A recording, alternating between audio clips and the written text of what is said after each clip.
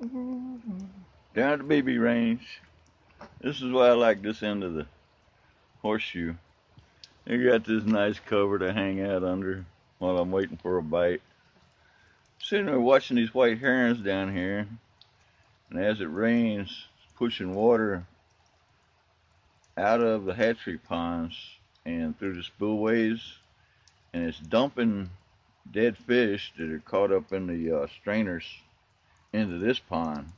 Went down there and caught, counted over a dozen bluegills dead floating in. It's funny because these herons, they'll jump out there when they see one come in and they'll pick it up, up they go, and they'll drop it when they realize it's dead. They won't eat it. And there was a uh, two blues in here.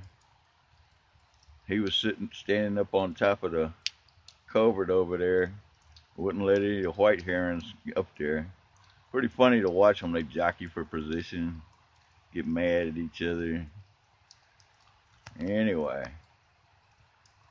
just another rainy day down here at the settling ponds at the Texas Freshwater Fisheries Center in Athens, Texas.